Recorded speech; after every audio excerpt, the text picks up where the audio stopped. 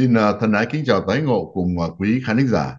Chúng tôi là bác sĩ Nguyễn Trọng Việt, lại rất vui được quay trở lại để uh, hầu chuyện cùng quý vị trong chương trình hội luận vấn đề cần quan tâm hôm nay. Và kính thưa quý khán thính giả, cùng với chúng tôi vẫn là vị khách rất quen thuộc, đó là bình luận gia Nguyễn Kim Bình. Uh, xin chào anh Bình và xin anh gửi lời chào đến quý khán thính giả của chúng ta. À, kính chào quý khán giả.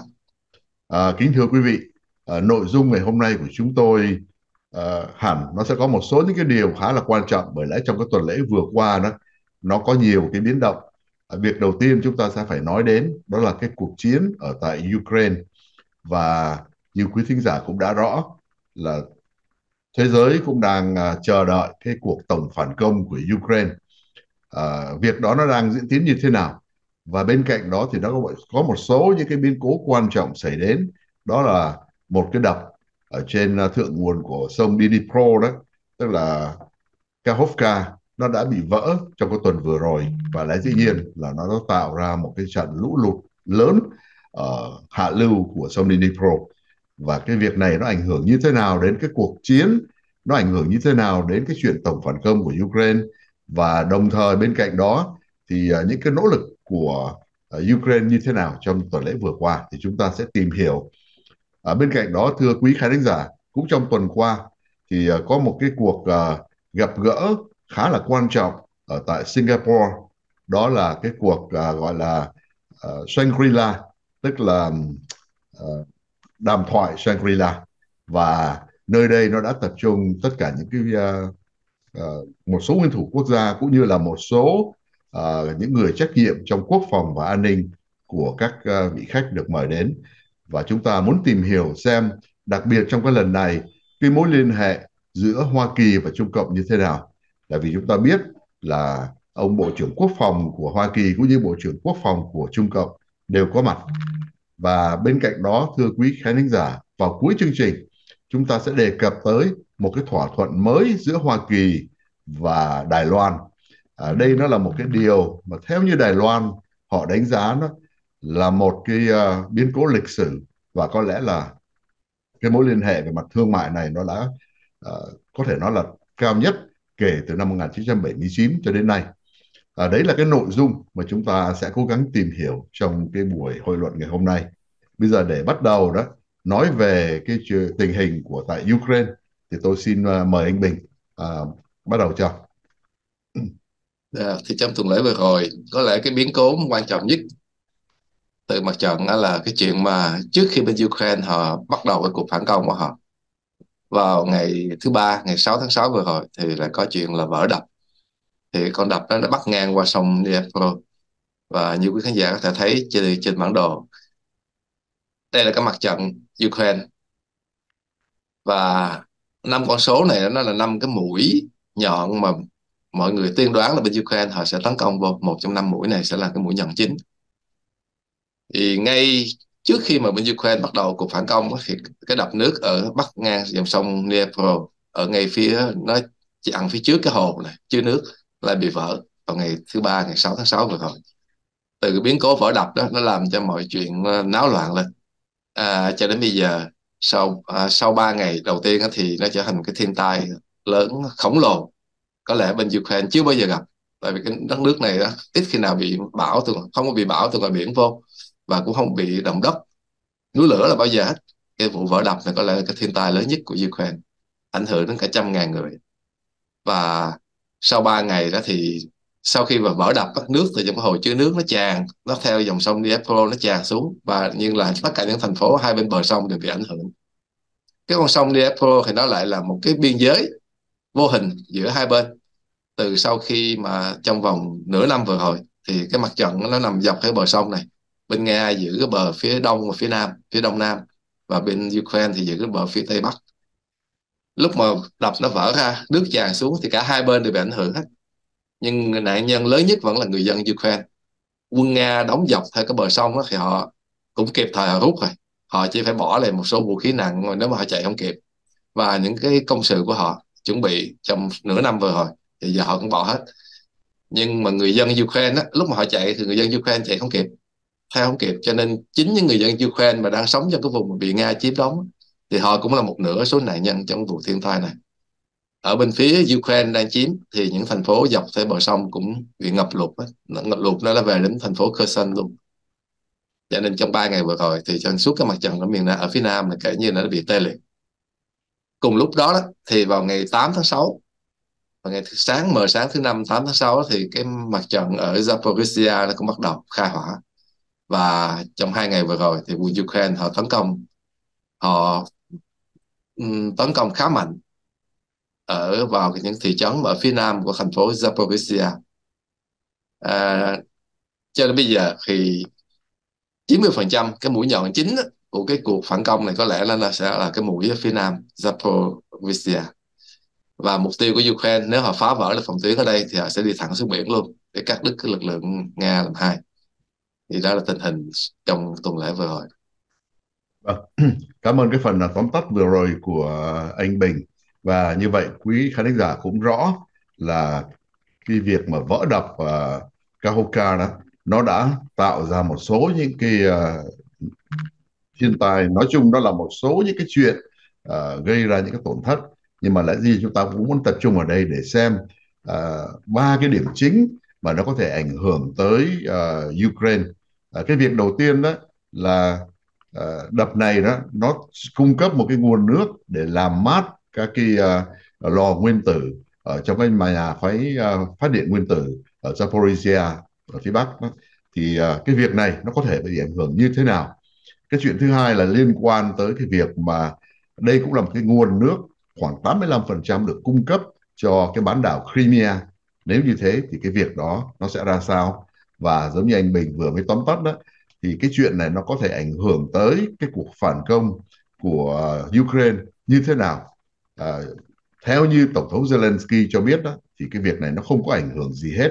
Nhưng mà với các nhà quan sát thì người ta thấy đó là lẽ dĩ nhiên ít nhiều gì nó cũng sẽ ảnh hưởng. Bởi lẽ khi mà đưa quân để mà đánh qua phía bên kia của bờ sông uh, Dnipro đó thì uh, ngày hôm nay nó đang gặp một số khó khăn lớn khi mà Ukraine dự trù cần phải thực hiện. Và qua cái điều chia sẻ của anh Bình đó thì rõ là nó có khá nhiều cái mũi nhọn mà bên uh, Ukraine họ muốn mở ra. Và theo như các nhà quan sát đó thì họ cho rằng đây là các cái trận đánh thăm dò thôi để xem xem là cái hệ thống phòng thủ của Nga ở những cái địa điểm đó đó như thế nào. Và bên cạnh đó đó là cái phản ứng của người lính Nga nói chung ra sao. Và từ đó có thể giúp cho họ lấy cái quyết định là sẽ tấn công ở cái mũi nào quan trọng nhất để mà phá vỡ cái phòng tuyến của uh, Nga. Bây giờ quay trở lại đó thì trước cái sự kiện vừa nêu đó thì những cái hệ lụy liên quan tới cái lò mà nguyên tử để phát điện đó hay là cái chuyện uh, cái nguồn nước ở tại Crimea vân vân đó thì anh Bình có thể cho biết là cho đến giờ phút này thì tình hình nó ra làm sao thưa anh? Uh, có hai chuyện mừng. Cái thiên tai đối với người dân ở bờ sông Dnipro đó thì nó nặng lắm. Nhưng mà có hai chuyện mừng đó là thứ nhất đối với Nga ngày nào mà cái hồ nó còn nước thì đây là cái kênh đào mà nó đưa nước về Crimea đó. Thì nó cái cái kênh này á nó hoạt động không có máy nó chỉ dựa lên cái độ dốc thôi. Cho nên cái ngày nào mà nước còn trong hồ đó thì tiếp tục nó đổ vô cái à, thì nó vẫn còn đổ vô cái con kinh này và dẫn nước về Crimea nếu một lúc nào mà nó tràn xuống dưới hạ lưu hết rồi cái bờ hồ nó cạn lại thì lúc đó ở Crimea sẽ thiếu nước. Cho nên trong tháng này thì chưa đến nỗi khẩn cấp. Vấn đề thứ nhì cái này là cái quan trọng cho cả thế giới luôn. Cái nhà máy mà à, nguyên tử cái lò phát điện hạt nhân nó vẫn nó, nó dùng nước ở trong cái trong hồ này để mà nó làm nguội cái lò phản ứng hạt nhân của nó. Thì cho đến bây giờ vẫn còn đủ nước để xài và trong sáu cái lò phản ứng hạt nhân ở trong nhà máy đó thì nó, họ đã tắt hết năm rồi. Cho nên nó, mọi chuyện cũng còn yên ổn. Chưa đến nỗi là nó sẽ không có gì bị nổ và không không có một cái tai nạn. À, à, chất phóng xạ nó không bung, bung ra ngoài. Cho nên cả thế giới vẫn còn yên tâm. À, ít nhất là trong tháng này. Ngoài ra đó thì trên mặt trận quân sự đó, thì như khán giả có thể thấy là vì cái uh, hiện giờ nếu mà sau khi xin lỗi khán giả một xíu. À, một khi mà nước nó tràn lên khắp bờ sông Dnipro thì cái mặt trận đó bây giờ là từ đầu bờ hồ cho đến biển bây giờ nó không còn làm cái phòng tuyến cần phải phòng thủ nữa. Bên nga bây giờ nước ngập lên láng à, thành ra bên phía Ukraine họ bị tắt một cái đường để tấn công là cái mũi cái mặt trận ở miền Nam. Không biết là họ có định đánh ở miền Nam hay không nhưng mà ít nhất nó là một những cái chỗ dùng để nghi binh để cầm chân quân Nga. Thì bây giờ bên phía Nga không cần phải giữ nữa nguyên cái, cái khoảng mặt trận này. Thành ra cái đối với họ đó họ giảm bớt được khoảng một phần ba cái nặng. Bây giờ chỉ cần họ tập trung họ giữ cái mặt trận ở phía trên thôi. Cái chiều dài của nó từ 600 mai giờ xuống còn là khoảng chừng 400 mai. Thành ra bên Nga có được cái lợi thế đó. Họ có thể rút quân từ cái mặt trận này về để giữ phía trên này. Và về lâu về dài nếu mà Nga có muốn rút ra khỏi Crimea trong trường hợp phải rút ra thì bây giờ ở cái vùng đất miền Nam nó cũng không còn giá trị nhiều nữa là vì nó bị bão bị nước lụt tàn phá hết rồi. Cho nên đây cũng có thể là một cách nếu mà Nga muốn rút về Crimea muốn bỏ ở vùng đất này thì bây giờ họ có thể yên tâm mà rút mà không có sợ bị truy kích. Thì đó là cái ảnh hưởng về mặt quân sự. Ừ. Vâng, và tiếp lời với anh Bình thì à, thưa quý khán giả, uh, riêng ở phía Bắc và phía Đông Bắc đó thì chúng ta đều biết đó là cái mặt trận ở tại uh, uh, vùng Đông Bắc đó, thì gần đây đó họ đã mở ra một số những cái ờ, mũi nhọn để mà tấn công. Và Bắc Mút đó, nó vẫn là một cái nơi mà cho đến nay đó vẫn còn là những cái điểm rất là nóng. Và từ cái việc mà chúng ta quan sát cái việc mà tấn công của Ukraine và bên cạnh đó đó thì những cái um, ảnh hưởng của cái trận lũ lụt đó thì cho đến nay thì anh Bình có thể cho biết là các cái hướng tiến quân còn lại của Ukraine nó tập trung ở chỗ nào? Xin mời anh ngoài Zaporizhia thì còn một cái mũi quan trọng thứ nhì là Bakhmut. Bên Ukraine họ có hai option là phải bao vây. Nếu mà họ phản công phải bao vây lực lượng Nga trong thành phố Bakhmut. Ít nhất cũng vài chục ngàn quân. Mà cái lực cái lực lượng này thì đã bị kiệt quệ sau nửa tháng nửa năm trời chiến đấu. À, và nếu mà từ Bakhmut đánh thẳng về Donetsk thì đó là một cái mục tiêu thứ nhì cũng quan trọng một khi mà đã cô lập được lực lượng Nga Bakhmut thì có thể đánh vô Donetsk. Và từ Donetsk cũng có con có đường để ra biển. Cũng có một cái cách nữa. Đây là một cách thứ nhì để mà cắt đứt cái mặt trận lực lượng của Nga. Cho nên ờ, nhìn từ phía Nga đó thì họ đang lo cả hai mũi nhọn Zaporizhia và từ Bakhmut. Và bên cạnh đó thì uh, trong những lần trước đây thì thưa quý khán giả chúng ta cũng đã đề cập đến đó là uh, các cái vùng đất mà trong cái lãnh thổ của Nga mà trong hai tuần vừa qua đó uh, đã có một số những cái cuộc tấn công của những cái lực lượng uh, Nga nhưng mà lại chống Putin. Thì uh, họ đã tiếp tục tổ chức những cái cuộc uh, tấn công đó ở Vigorod là cái địa điểm quan trọng ngày hôm nay. Và uh, nó đã tạo ra một số những cái chấn động tâm lý quan trọng đối với người dân Nga. Uh, cũng từ cái điểm này đó thì uh, anh Bình có thể cho biết là cái việc mà có một số các cái lực lượng uh, gọi là kháng cự đó, mà họ chống lại Nga và họ tấn công trên các lãnh thổ của Nga đó, thì nó ảnh hưởng như thế nào đối với lại cái cuộc chiến hiện nay của Ukraine trong cái việc mà chuẩn bị cho cái tổng phản công, thưa anh? Là thành phố Belgorod thì nó nằm đối diện với Kharkiv ở bên phía Nga. Những cái cuộc tấn công du kích trong mấy tuần vừa rồi đó, nó xảy ra ở những thị trấn mà gần gần biên giới ở phía phía đông giữa Nga và Ukraine đó. thì cái vùng này đó là cái vùng hậu cần để tiếp tế cho cái mặt trận ở bên đây. Cho nên nếu bên Ukraine muốn họ muốn chọc muốn tấn công mở cuộc tấn công lớn vào ở cái mặt trận miền Đông á, thì những cái cuộc tấn công kiểu du kích này nó có hai mục tiêu. Thứ nhất là về tâm lý thì nó làm cho bên phía Nga dân Nga rối lên vì nghĩ là chiến tranh nó về tới nước Nga rồi. Nhưng mà về mặt quân sự đó thì nó có thể nó phá được nó cầm chân quân Nga ở đây và làm chi trí họ chưa kể nó phá cái đường tiếp liệu những cái kho vũ khí. Nó là một hình thức gọi là sách nhiễu đó ở hậu ở đằng sau. Để mà à, mua thời gian cho cái lực lượng chính quy họ sẽ tấn công ở ba mũi nhọn và cũng trên cái điều mà anh Bình vừa mới chia sẻ đó thì anh có thể cho biết thêm là về mặt tâm lý thì quả thật là chúng ta đã nhận xét trong hai tuần lễ vừa qua đó thì bên cạnh cái cuộc uh, trực tấn công mà đóng bằng kép du kích ở tại các cái vùng gọi là Vigorod đó, thì ngay cái thủ đô Moscow của Nga đó cũng đã bị một số những cuộc tấn công bằng các cái thiết bị không người lái. Và vì vậy cho nên đối với người dân Nga đó, thì ngày hôm nay đó, họ thấy chiến tranh thực sự nó đến gần họ chứ nó không phải là cái chuyện ở đâu đâu nước nào khác. Thì đấy nó là một trong cái tâm lý quan trọng. Và bên cạnh đó đó thì từ xưa đến nay, Putin luôn luôn nói với lại người dân Nga là mọi chuyện đều được kiểm soát và mọi chuyện đều ở trong cái kế hoạch dự tính, vân vân. Thì ngày hôm nay rõ ràng là cái gọi là kiểm soát đó nó đã không thành công. Và thậm chí là gần đây hơn cả tuần vừa rồi đó, thì cái lực lượng khi mà tấn công vào Vigorod đó, họ đã bắt được khá nhiều tù binh của Nga. Và họ đang mặc cả để trao đổi với cái cái người người ờ, tỉnh trưởng của cái vùng Vigorod tức là của Nga đó thì tất cả những cái tin tức này nó đều được loan tải. Và do đó có lẽ về mặt tâm lý mà xét nó cũng đã tạo ra một số cái chấn động lớn. Thế thì phối hợp giữa cái việc đó với lại những cái chuyện đang diễn ra ngày hôm nay qua một số những cái mũi nhọn mà gọi là những cuộc uh, tấn công thăm dò đó thì một cách tổng quát anh Bình có thể cho biết cái đánh giá của anh như thế nào về uh, cái cuộc chiến hiện nay? Uh, sau 3 ngày tấn công thì cho nên bây giờ thấy quân Nga vẫn còn giữ vững cái phòng tuyến chứ phải không? Vì họ đã có gần một năm để họ xây công sự. Có lẽ từ tháng 9 tháng 10 năm ngoái sau khi mà bị thất bại ở Kharkiv và Kherson trong vòng 9 tháng vừa rồi thì cái mặt trận nó tương đối nó nằm yên chỗ. Cho nên quân Nga trong 9 tháng vừa rồi không có làm gì hết. Ngoài chuyện là cứ lo đào hầm và xây công sự. À, cho nên phía thủ có cái lợi là phía công. Đó là lý do mà dưới bên Ukraine họ cứ chần chừ trong suốt cái mùa xuân vừa rồi. Họ không chịu ra quân đợi đến lúc mà cái thời cơ nó sẵn sàng. À, cho nên bên Nga vẫn còn giữ được. Thì cho đến bây giờ nó chưa có ngã ngủ và có lẽ là trong phải đến cỡ chừng một tuần nữa thì mới thấy được là bên Ukraine họ có thể chập thủng phòng tuyến không. Nếu không thì bên Ukraine nữa là họ sẽ ngưng cái cuộc cái cuộc phản công này. Tại vì họ không thể tiếp tục mà càng đánh vô mà không phá được phòng tuyến đó, thì cái bên thủ đó, bên tấn công sẽ bị thiệt hại nhiều lắm.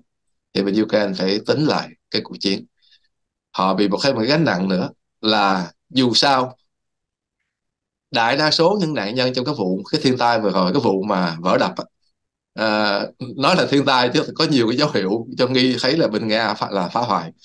À, cho đến trong ngày thứ sáu vừa rồi thì bên Ukraine họ sẽ công bố ra một cái đoạn ghi âm mà tình báo Ukraine có nghe lén được giữa hai người Nga nói chuyện với nhau.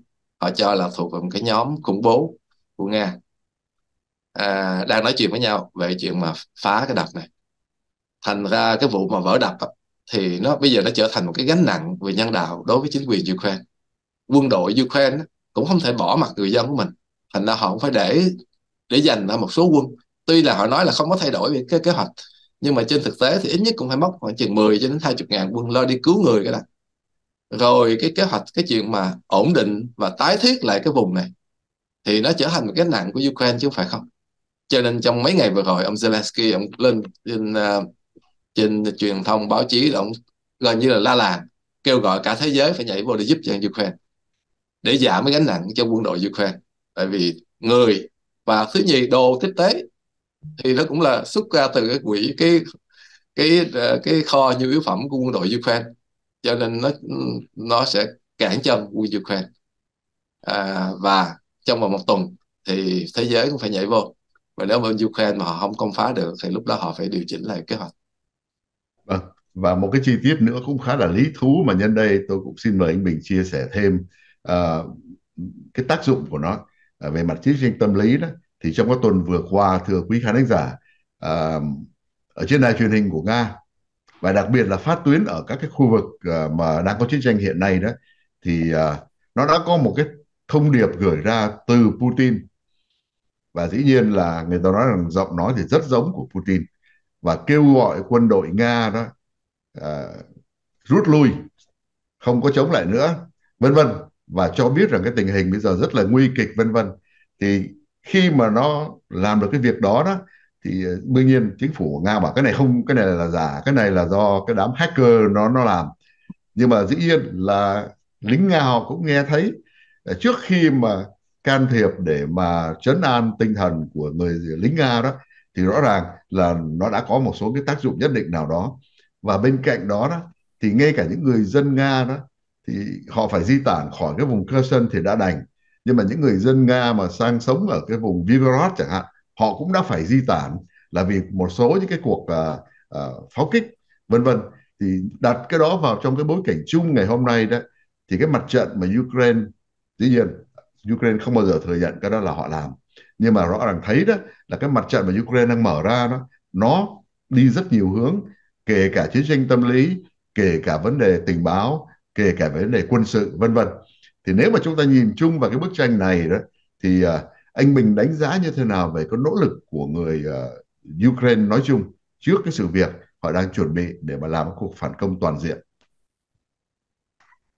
À, đối với Ukraine đó thì bây giờ sau cái tai nạn ở cái đập đó, thì họ nó mở một cái một cái hướng mới mà bên Ukraine thì chắc chắn họ đang nghiên cứu. Trong trường hợp mà cái cuộc phản công đó, nó không có cái cuộc tiến quân nó không có nhanh nó không có đạt kết quả như họ muốn thì bây giờ họ có một cái cơ hội mới. Nếu họ khóa cái kênh này không dẫn cho dẫn nước về Crimea nữa và nguyên cả một cái phòng tuyến của Nga ở miền Nam bây giờ đó, thì như là bỏ ngỏ rồi thì bên phía Ukraine họ sẽ tập trung vô dùng hỏa tiễn họ tiếp tục một cái công phá những căn cứ của Nga Crimea. Có thể là phá cả cái cầu Kerch nữa. Thì bán đảo Crimea nó sẽ bị cô lập hoàn toàn. Không còn đây là cái chiêu này thì là um, bất chiến tự nhiên thành nhân cái dịp mà gọi là cái cái tai họa đó xảy ra ở cái đập đó, thì Nga cũng sẽ phải gánh thôi.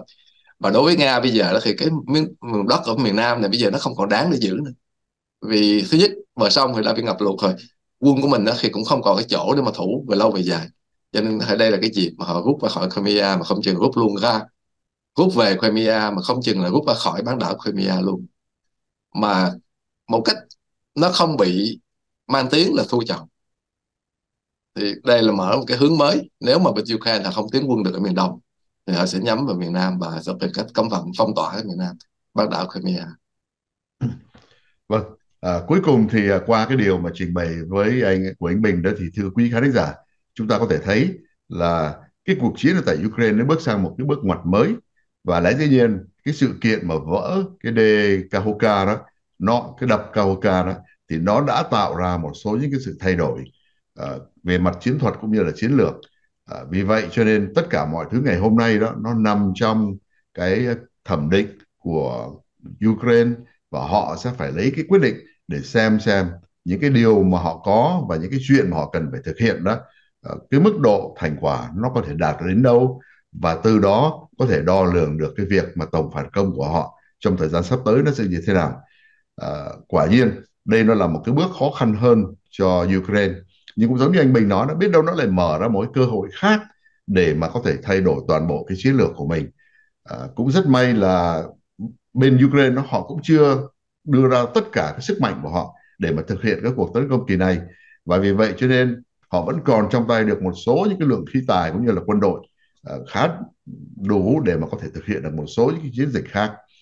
Uh, kính thưa quý khán giả đấy nó là một số những cái sự kiện cụ thể liên quan tới cuộc chiến ở tại Ukraine mà chúng ta đều biết là nó đã kéo dài à, 16 tháng rồi và cho đến nay đó thì chúng ta chưa thấy uh, nó có một cái lối thoát và cái quyết định sau cùng thành quả đạt hay không đó nó vẫn nằm ở trong tay của quân đội Ukraine cũng như là người dân Ukraine ngày hôm nay. À, chúng ta sẽ tiếp tục theo dõi cái tình hình ở tại uh, Ukraine và chúng tôi sẽ cung cấp đến quý khán giả những cái tin tức uh, tiếp theo để mà chúng ta cùng cập nhật. À, đến đây thì à, thưa quý khán giả chúng tôi xin bước sang một cái uh, uh, đề tài khác. Cái đề tài này nó liên hệ đến uh, cuộc gặp gỡ của tất cả các cái uh, uh, những người mà trách nhiệm về mặt uh, quốc phòng uh, cũng như là an ninh ở trong khu vực uh, liên hệ đến cái uh, châu Á Thái Bình Dương. Chúng tôi muốn nói đến cái cuộc đối thoại Shangri-La tổ chức vào tuần vừa rồi ở tại Singapore. À, đây nó là một cái cuộc đối thoại uh, hàng năm nhưng mà lần này thì nó có một số những cái chi tiết quan trọng mà một số các nhà quan sát đều theo dõi. Bởi lẽ trong cái bối cảnh là cái sự căng thẳng giữa Hoa Kỳ và Trung Cộng ngày nó càng nhiều. Và vì thế cho nên người ta muốn biết là hai người mà bộ trưởng quốc phòng của cả hai nước này đó sẽ có những cái phản ứng như thế nào sẽ có những cái điều chỉnh bày gì cái quan tâm ra sao đến thế giới cho thế giới biết. À, và bên cạnh đó nó có một số những cái sự kiện liên quan tới à, cái chuyện mà ở eo biển Đài Loan cũng như là trên không phận của cái vùng à, à, biển Đông đó. Cho nên à, chúng ta sẽ tìm hiểu thêm những cái chi tiết quan trọng liên quan tới cái uh, uh, cuộc đối thoại Shangri-La này. Thì tôi xin mời anh Bình bắt đầu để cho biết là cái một cách tổng quát về cái cuộc gặp gỡ này thưa anh. Đối với ban tổ chức thì cái cái cuộc đối thoại thực sự nó là một cái hội nghị nó thành công quá mức luôn có đến gần 50 phái đoàn của 50 nước. À, gần 50 nước gửi phái đoàn đến. À, thành ra nó lớn hơn là cái diễn đàn lúc đầu 20 năm trước thì nó chỉ là một cái diễn đàn để cho 10 bộ trưởng quốc phòng ở trong khối ASEAN. Ngồi lại nói chuyện với nhau về tình hình an ninh của Đông Nam Á. Sau đó nó mở rộng ra. Trong 20 năm vừa rồi thì gồm bây giờ cũng mời bộ trưởng quốc phòng Mỹ Trung Quốc. Có năm thì sẽ mời bộ trưởng quốc phòng Nga bộ trưởng quốc phòng Nhật Nam Hàn rồi Úc cùng đến dự lần này thì ngoài những nước trong vùng Tây Thái Bình Dương có cả hai chục nước từ bên Âu Châu Nam Mỹ Phi Châu là cũng qua đó. Vì họ muốn có dịp gặp các bộ trưởng quốc phòng các chuyên gia về an ninh. Họ muốn nghe trực tiếp những người này à, có những cái nhận định hay là muốn nói gì với cả thế giới luôn chứ không còn là chuyện mà Đông Nam Á và chuyện Tây Thái Bình Dương nữa. À, cái trọng tâm của cái cái diễn đàn thì vẫn là chuyện an ninh ở trong khu vực và hai nhân vật chính mà mọi người chờ đợi trong năm nay đó vẫn là Bộ trưởng Quốc phòng của Mỹ và của Trung Quốc. Là vì nó xảy ra trong cái cuộc đối đầu giữa Mỹ và Trung Quốc. Thì trong một năm vừa rồi từ năm mùa hè năm ngoái cho đến bây giờ nó quá nhiều chuyện xảy ra. À, đây cũng là cái cái đối thoại đầu tiên mà đây là cái buổi ra mắt của ông uh, Lý Thường Phúc là Bộ trưởng Quốc phòng mới của Trung Quốc. À, ông Austin Bộ trưởng Mỹ thì đã đi dự lần này lần thứ ba rồi. Cho nên cả nguyên cái vùng người ta cũng muốn dịp, nhân dịp này gặp ông Lý Thường Phúc. Và nhận xét như thế nào? Tại vì dù sao thì cái nhân vật Bộ trưởng Quốc phòng của Trung Quốc không phải là cái người chỉ huy quân đội, thực sự. Vì ông chúng chỉ là một những thành viên trong quân ủy trung ương thôi, nhưng mà ông là cái khuôn mặt nổi nhất của quân đội Trung Quốc, cho nên người ta muốn xem mặt ông này. Và qua đây ông là người phát ngôn viên chính sách quốc phòng an ninh của Trung Quốc. Thì nó có một biến cố quan trọng nhất mà mà đã không xảy ra đó là cái cuộc họp giữa bộ trưởng quốc phòng Mỹ và bộ trưởng quốc phòng Trung Quốc. Bên Mỹ muốn có cuộc gặp mặt này nhưng mà bên bộ quốc phòng Trung Quốc họ từ chối vì hai lý do. Có là đúng là thì ba lý do. Mấy ngày trước khi mà diễn ra cái hội nghị cái diễn đàn này bắt đầu thì Mỹ với Đài Loan lại ký một cái thỏa hiệp thương mại. Và chút nữa đây mình sẽ nói vô chi tiết về thỏa hiệp đó. Thì cái đó đối với về mặt ngoại giao thì đối với Trung Quốc đó là một sự khiêu khích. À, ngay trước khi cái cuộc đối thoại đã bắt đầu thì hai tàu chiến Mỹ và Canada lại đi ngang qua eo biển Đài Loan trong một cái chuyến hành quân mà tự do hàng hải đó. Thì cái việc này cứ ba khoảng 3 tháng thì hải quân Mỹ họ lại làm một lần. Nhưng mà đó, kỳ này nó làm ngay trước khi mà ông Lý Thượng Phúc ông lên diễn đàn vào ngày chủ nhật vừa rồi. Cho nên đối với lại quân đội Trung Quốc và Trung Quốc nói chung thì đây là một cái hành động khiêu khích. Điểm thứ ba thì có liên hệ đến cá nhân ông Phúc. À, 5 năm trước thì ông đã bị lên danh sách bị cấm vận là vì trước đây lúc còn làm thứ trưởng quốc phòng của Trung Quốc á, thì ông Lý ông có ký nhiều cái hợp đồng mua vũ khí của Nga. Trong lúc mà Mỹ và cả thế giới đều muốn cấm vận Nga sau khi mà xâm chiếm Crimea vào năm 2014 cho nên uh, bất đắc dĩ thì ông trở thành cái nhân vật chịu trách nhiệm dùng cho cả quân đội Trung Quốc luôn. Thì ông bị đưa lên danh sách cấm vận của Bộ Tài chính Mỹ bị cấm không được có visa đi qua Mỹ không được qua thăm con không được uh, làm ăn buôn bán gửi tiền gì ở Mỹ. Uh, cho nên bên Bộ Quốc phòng Trung Quốc họ nói là quý vị muốn gặp bộ trưởng của chúng tôi thì phải bỏ tên ở khỏi danh sách bị cấm vận. Và đến giờ chót cũng có cuộc vận động á, học trường á, để mà bỏ tên ông nhưng mà đến giờ chót nó không xảy ra. Cho nên bên phía Trung Quốc họ cũng viện cớ đó họ nói là thôi vì ba lý do đó chúng tôi thấy không có nhu cầu phải gặp bộ trưởng quốc phòng Mỹ và những chuyện đó thì nhưng trong cái diễn đàn đó cái ngày mà đến ngày thứ ba lúc mà ông Lý lên diễn đàn thì ông cũng um, kể tội Mỹ trong cái phần nói chung là hai bộ trưởng quốc phòng xuất hiện vào hai ngày khác nhau thì bên này cũng kể tội bên kia và trình bày cái quan điểm của mình cho cả thế giới luôn. Vâng, cảm ơn cái phần tóm tắt vừa rồi của anh và thưa quý khán giả. À, ờ, cho nó rõ hơn đó, thì cái sự kiện nó xảy ra ở tại à, cái eo biển Đài Loan đó là đúng như anh mình nói là hai cái tàu chiến tức là khu trục hạm và tuần dương hạm của Mỹ và Canada nó đã đi tuần tra qua cái eo biển Đài Loan. À, tuy nhiên cái việc mà nó xảy ra đó là một cái khu trục hạm của Trung Cộng đó đã đi cắt ngang cái à, cái hải hành của cái tàu chiến của Mỹ và không những thế lại có một vài cái vòng lượn ở phía trước mặt cho nên nó đã tạo ra sóng vân vân các thứ và nó làm cho cái khu trục hạm của uh, Mỹ đó đã phải giảm cái tốc độ. Uh, cách nhau hình như tôi nhớ không lầm khoảng 150 thước. Và nếu như thế đó thì rõ ràng nó là một trong những cái hành động có thể rất là nguy hiểm và có thể va chạm. Và không những thế nó có thể kích động một số những cái chuyện mà không ai có thể biết trước được. Ờ, nổ súng chăng? Có thể lắm à, bên cạnh đó thì lại trước cái sự kiện đó vài hôm thì cái máy bay tuần tra của Mỹ khi bay trên cái không phận uh, quốc tế ở tại biển Đông đó thì một cái chiến đấu cơ của Trung Cộng cũng đã đi vượt ngang ở phía trước mũi của cái máy bay tuần tra này. Và theo như là cái uh, video quay được từ trên cái máy bay tuần tra của Mỹ đó thì nó đã tạo ra một cái làn sóng uh, không khí đó khiến cho nó làm trao cái máy bay. Thì tất cả những cái sự kiện đó nó đã xảy ra. Và vì vậy đúng như anh mình nói đó nó làm căng thẳng thêm. Và vì vậy cho nên mọi người đều muốn biết uh, là hai ông bộ trưởng quốc phòng gặp nhau ở đây thì uh, đại khái cái thái độ nó ra làm sao?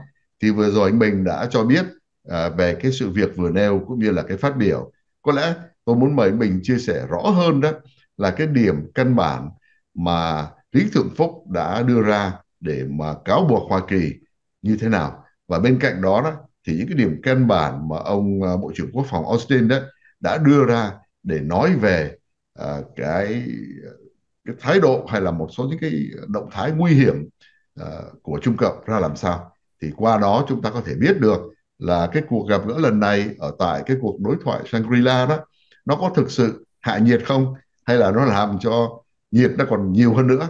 Tôi xin mời anh yeah, nó cái diễn đàn nó sẽ lần đầu tiên mà có một cái biến cố gây lớn như vậy nó xảy ra ở ngoài biển trong lúc mà cái cuộc đối thoại đang diễn ra ở Singapore. À, những năm trước thì cũng có nhiều vụ đấu khẩu lớn giữa các hai bộ trưởng Mỹ và Trung Quốc.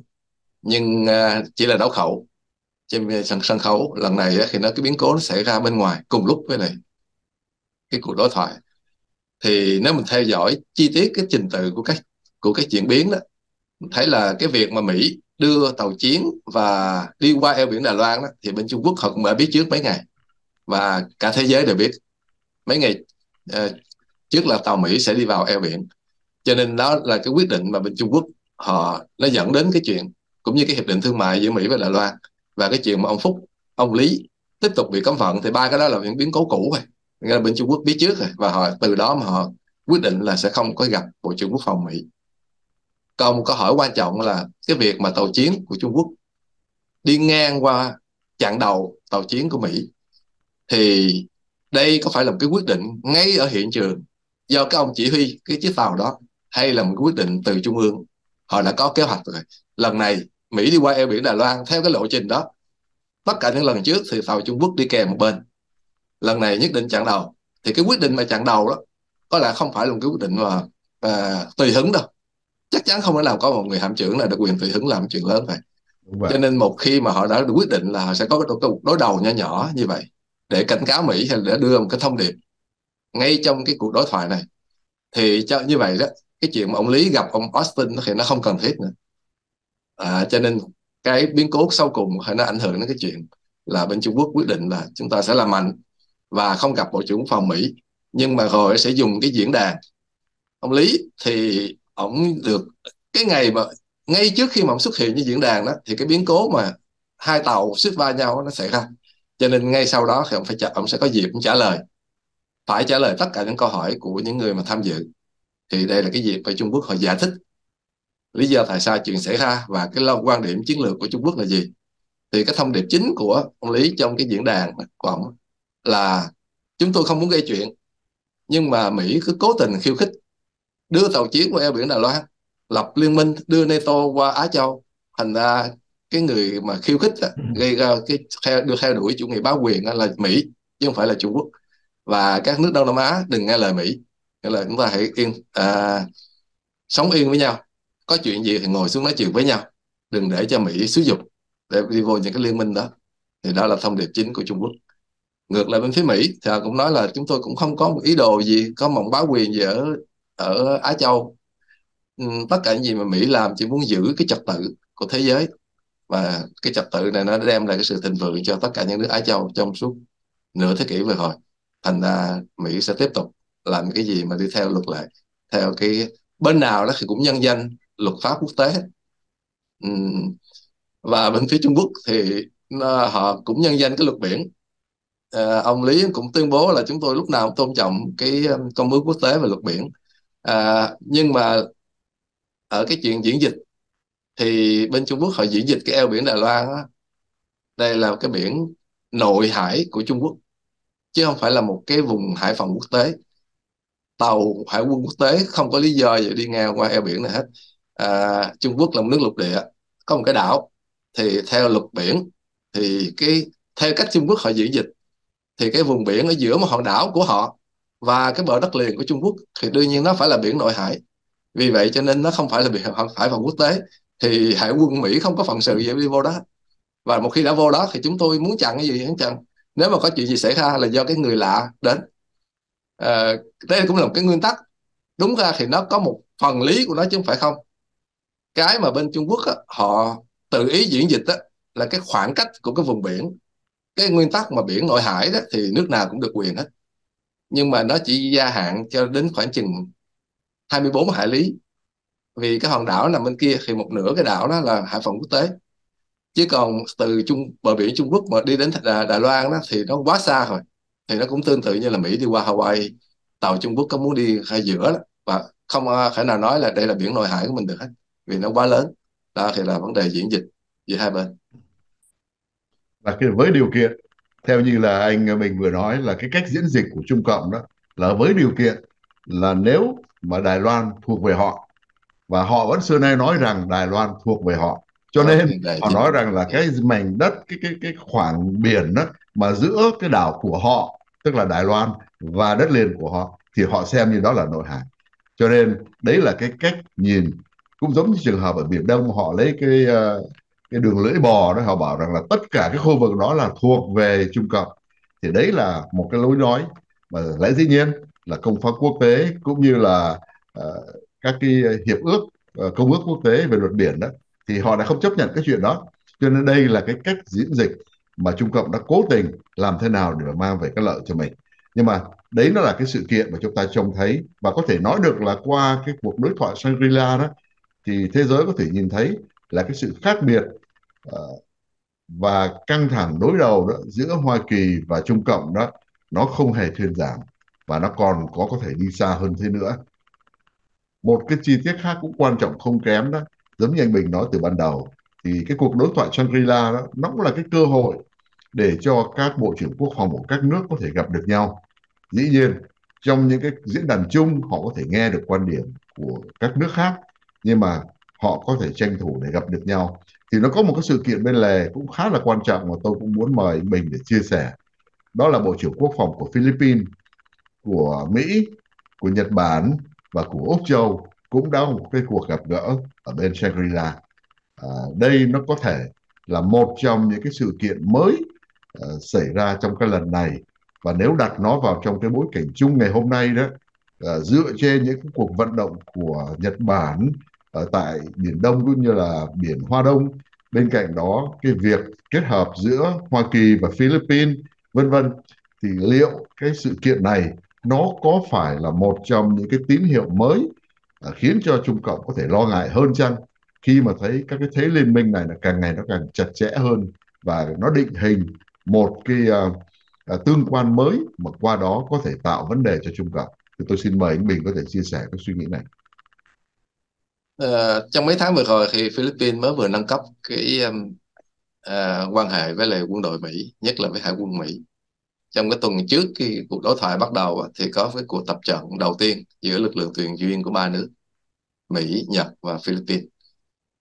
À, đây là chiến lược khôn của Philippines vì một cuộc tập trận giữa ba hải quân lớn thì nó có vẻ khiêu khích đối với Trung Quốc nhưng mà lực lượng tuần duyên đó, thì bên Philippines họ có lý do chính đáng thật sự là đây là một cuộc tập trận để chuẩn bị cho cái lực lượng tuần duyên để bảo vệ vùng biển của Philippines thôi, chứ không nhằm mục đích đánh nước nào hết. và cái vấn đề lớn nhất của Philippines nó không phải là hải quân chính quy của Trung Quốc, mà là tàu cảnh sát biển và các tàu đánh cá của Trung Quốc. Mà đôi khi có vũ trang nè, cho nên bên phía lực lượng tuần duyên của Philippines mới là cái lực lượng mà cần phải củng cố. Thì đây là cuộc tập trận đầu tiên và họ nói là trong tương lai sẽ sẽ diễn ra hàng năm à, bên à, Philippines là muốn rủ Việt Nam và Úc tham gia nhưng mà Việt Nam thì chưa dám. À, và chỉ Úc. Và sau buổi họp này có lẽ là chuẩn bị cho cuộc tập trận năm tới sẽ có hải quân ít nhất là hải quân bốn nước. Càng đông thì càng có chính nghĩa. À, ngoài ra có một biến cố sau cái cuộc cái mà, cuộc đối thoại này thì chín à, vị tư lệnh lực lượng à, nghĩa là chín người tổng tham mưu trưởng đó, của của 10 quân đội chứ, ở ASEAN họ cũng có một buổi họp.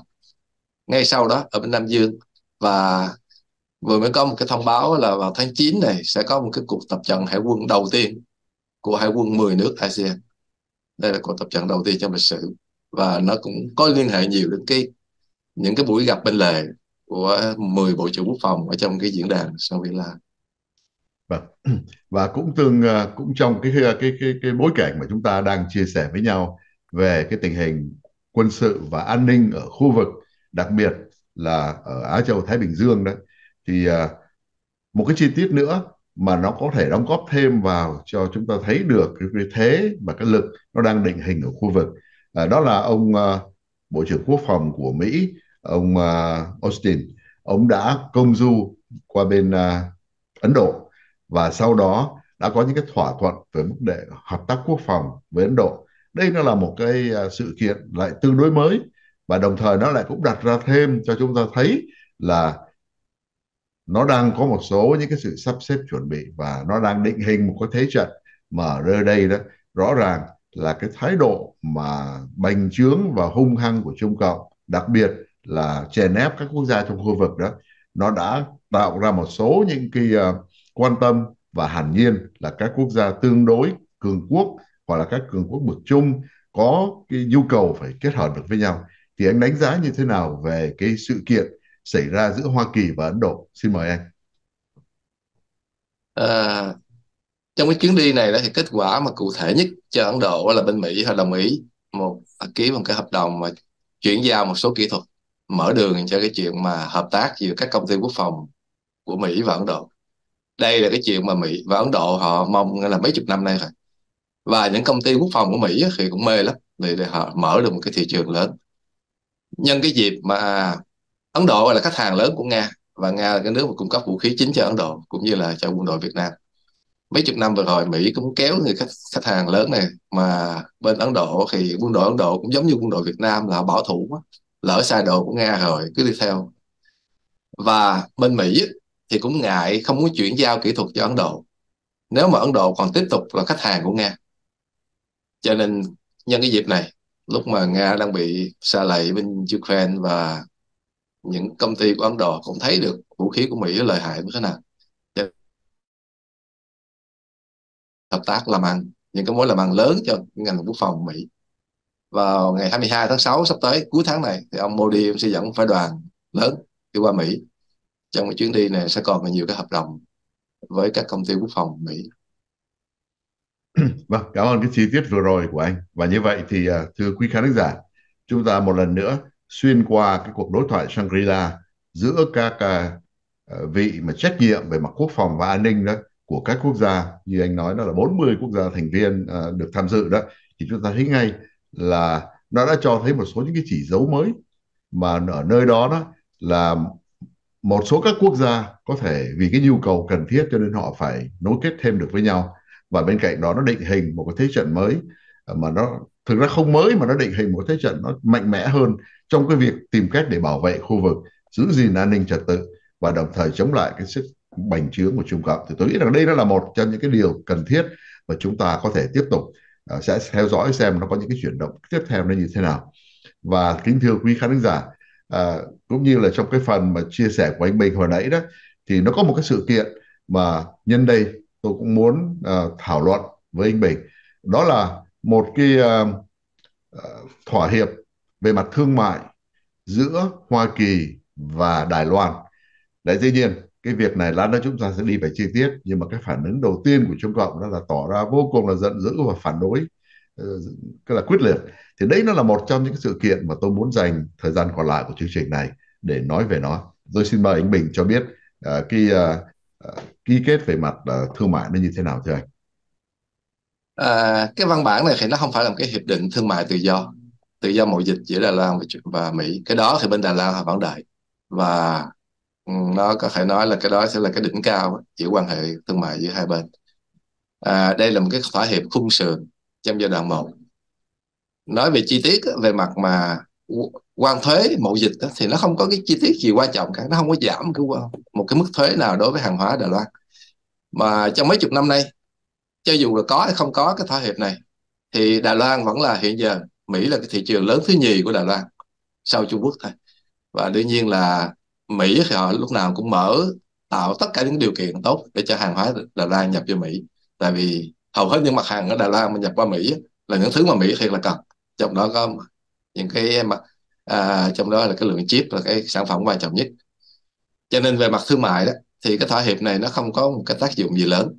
Nó chỉ hứa là sẽ giảm đi những cái thủ tục cơ mà nếu mà còn lại giữa Mỹ và Đài Loan để cho hàng hóa hai bên được ra vô thoải mái hơn. À, cái ảnh hưởng cái tác dụng chính đó là lại về mặt chính trị hơn là thương mại. Một là vì sao? Mấy chục năm rồi từ khi mà Mỹ cắt đứt ban giao với Đài Loan, thì hai bên ít khi nào ký một cái thỏa hiệp gì mà chính thức lắm. Là vì Mỹ không công nhận Đài Loan là một nước mà. Cho nên để nể mặt Trung Quốc thì ngoài hầu hết những cái văn bản mà Mỹ với Đài Loan ký trong bao nhiêu năm nay là chỉ là cái hợp đồng mua bán vũ khí. Còn rất ít những cái những cái thỏa hiệp có tính cách quốc gia. Và một khi mà ký một cái thỏa hiệp thương mại rồi đó, thì là một hình thức gián tiếp công nhận. Cái lãnh thổ này, chính quyền này là họ đang một cái thực thể, đáng được công nhận cho nên đây là lý do mà bên Trung Quốc phản đối. Không phải là vì lý do kinh tế mà là vì chuyện ngoại giao thôi. Họ coi là đây là một cách cố tình làm khó là à, khiêu khích Trung Quốc. Thì bên phía Đài Loan họ cũng nhân cơ hội này. Họ biết là cái này Trung Trung Quốc ghét thành ra cái cơ hội này. Chính phủ chính quyền và Thanh Văn họ cũng coi đây là một thỏa hiệp lịch sử. Thì nó lịch sử về mặt chính trị và ngoại giao. Chứ còn về mặt kinh tế đó về mặt thương mại đó thì nó uh, chưa giải quyết được cái vấn đề uh, chính là một cái thỏa hiệp tự do thương mại cái này thì bên Đài Loan họ muốn lắm. Và có lẽ trong vòng 3 đến 5 năm nữa hy vọng là bên Đài Loan họ hy vọng là à, họ sẽ có được cái Mỹ. Có một vài cái chi tiết liên quan đến thương mại mà tôi cũng muốn uh, để anh mình nói rõ thêm. Đúng như thế tức là đây nó không phải là một cái thỏa hiệp uh, uh, về cái tương quan của hai thực thể về mặt thương mại chính thức. Uh, tuy nhiên giống như anh nói về mặt chính trị thì quả nhiên ngồi xuống ký với một cái uh, một cái gọi là ở cái vị thế gần như là một quốc gia tuy không công nhận nhưng mà rõ ràng nó trở thành một trong những cái hành động quan trọng về mặt chính trị. Riêng về mặt kinh tế đó thì nó có hai cái sự kiện hay là hai cái vấn đề thì đúng hơn mà tôi cũng muốn anh mình có thể chia sẻ thêm đó. À, đầu tiên đó là họ nói rằng là cái việc này nó sẽ làm giảm bớt những cái áp lực về mặt kinh tế đối với đến từ Trung Cộng. Một cách khác là Trung Cộng có thể tạo thêm một số những cái áp lực thì bên này đó Hoa Kỳ có thể giải tỏa cái áp lực đó qua một số những cái hợp đồng vân vân về mặt uh, thương mại. Thì đó là một cái chi tiết. Cái chi tiết thứ hai đó là chúng ta còn nhớ là Đài Loan là một trong các cái quốc gia mà ngày hôm nay đứng đầu uh, về sản xuất các cái uh, vi mạch các chips mà có thể nói rằng là cao cấp nhất ngày hôm nay. Và nó chiếm tới khoảng 80% cái thị phần của thế giới uh, đặc biệt là với cái kích thước dưới khoảng 3 nanometer. Ờ, đây là một cái là một cái cái cái đột phá quan trọng nhất của Đài Loan. Và hẳn nhiên Trung Cộng rất là thèm muốn nhưng cái việc này nó đã gặp một cái trở ngại là vì cái sự liên hệ mà Hoa Kỳ đã đưa ra trong cái việc gọi là uh, thỏa hiệp về các chất bán dẫn đó. Và Đài Loan cũng đã ký một cái uh, uh, hợp đồng để mà sản xuất các cái chất bán dẫn này uh, với cái trị giá khoảng chừng mười mấy tỷ đô la ở lãnh thổ của Hoa Kỳ. Nếu mà nhìn vào trong cái bức tranh như thế và nhìn vào cái chuyện mà ngày hôm nay Trung Cộng cũng đang tìm mọi cách để mà ép Đài Loan cũng như là làm thế nào để tranh thủ các quốc gia khác uh, nghiêng về phía Trung Cộng mà không tiếp tục đi con đường hỗ trợ cho Đài Loan thì dưới cái hình ảnh đó thì anh nghĩ như thế nào về cái hợp đồng hiện nay nó có phải là một cái bước đi lên uh, để đưa Đài Loan gần hơn vào cái cộng đồng thế giới bên cạnh đó đặc biệt là đối với Hoa Kỳ không? Xin mời anh. À, trước khi có thỏa hiệp này thì lúc nào Mỹ cũng tạo điều kiện. Đài Loan là một trong những nước được ưu đãi nhất về mặt mậu dịch hàng hóa của Đài Loan thì vào nước Mỹ cũng kể như là với những cái mức thuế mà ưu đãi nhất rồi cái việc mà Đài Loan đầu tư ở Mỹ thì cũng được hưởng tất cả những ưu đãi như là những công ty Mỹ nhất cho nên uh, trong mấy năm vừa rồi mình thấy có nhiều cái dự án đầu tư lớn ở Đài Loan ở ngay tại Texas, Arizona cũng có trong ngành bán dẫn. Thì trong tương lai bên phía Mỹ cũng tiếp tục mở đường để chờ khuyến khích những công ty kỹ thuật cao ở Đài Loan đầu tư ở Mỹ. Bên đối với Đài Loan đó cái thị trường Đài Loan đó thì có một vấn đề nó lẩm cẩm nhưng mà nó đối với Đài Loan thì nó là quan trọng về mặt chính trị. Đó là cái thị trường nông phẩm của Đài Loan. À, Mỹ có cái lợi thế về nông nghiệp. Muốn mở cửa thị trường Đài Loan ra cho các công ty Mỹ bán thịt bò và gạo lúa mì Mỹ qua đó. Nhưng mà bên Đài Loan vì cái lý do chính trị họ vẫn còn phải bảo vệ cho cái người nông dân Đài Loan thì đó là một những cái mà cái hàng rào mà tự Đài Loan họ dựng lên. À, trong tương lai nó nó vướng nó nó đi ngược lại với một cái nhu cầu rất là thiết thực của Đài Loan là nếu mà bị Trung Quốc phong tỏa thì đương nhiên là Mỹ là cái, cái nước mà cung cấp thực phẩm quan trọng nhất cho Đài Loan cho nên họ dựng hàng rào lên thật sự là chỉ hại họ thôi. À, nó thỏa mãn được những người nông dân ở Đài Loan một thiểu số nhỏ nhưng mà à, họ sẽ phải gỡ cái đó xuống sớm muộn gì. Và cũng trong cái tinh thần mà chúng ta vừa nói đó thì à, à xuyên qua cái hiệp ước hiện nay là về mặt thương mại giữa Hoa Kỳ và Đài Loan đó anh dự đoán như thế nào về cái à, tình hình chính trị của Đài Loan? Tại vì chúng ta biết rằng đó là họ đang chuẩn bị đi vào cuộc bầu cử tổng thống. Nếu tôi không lầm thì vào đầu năm tới. Và vì vậy cho nên lẽ dĩ nhiên là hai đảng uh, dân tiến của bà uh, đương kim tổng thống hiện nay là Thái Anh Văn và cái đảng và là quốc dân đảng uh, của bên uh, uh, tôi không rõ lắm cái người đảng trưởng của quốc dân đảng ngày hôm nay tên là gì nữa cơ. Nhưng mà hiện nay cũng đang có những cái cuộc vận động tranh cử. Và lẽ dĩ nhiên là cái người đại diện chính thức của Hoa Kỳ Ờ, vào hai tuần trước cũng đã gặp bà Thái Anh Văn và tuyên bố là họ không bao giờ đứng về phía đảng nào cả. Lấy tuy nhiên chuyện đó là chuyện cần thiết để cho người dân Đài Loan họ có những cái uh, lựa chọn của chính họ. Dựa trên những gì chúng ta đang thấy ngày hôm nay dựa trên những cái mối quan hệ giữa Đài Loan và Hoa Kỳ dựa trên cái chuyện mà Đài Loan đang gặp những cái đe dọa uh, từ phía Trung Cộng đó dự đoán anh nghĩ xem là cái cuộc bầu cử nó sẽ diễn ra như thế nào và cái lực lượng nào mình nghĩ rằng có thể sẽ tiếp tục uh, nắm được cái vị trí quan trọng để mà cầm cân đẩy mực tại Đài Loan. À, đây sẽ là một cuộc bầu cử gây cấn. Cả hai người bên phía đảng Dân Tiến thì đã đề cử phó tổng thống hiện giờ. Ông phó của ông à, là ông à, Lại Thành Đức là phó của bà Thái Anh Văn. Bên phía uh, Trung Hoa Quốc dân đảng thì cũng đã đề cử thị trưởng của Tân Đài Bắc là ông Hầu Hữu Ích. Thì cả hai người đều thuộc cái lớp tương đối trẻ dưới 60 đều có một cái thành tích tốt nè.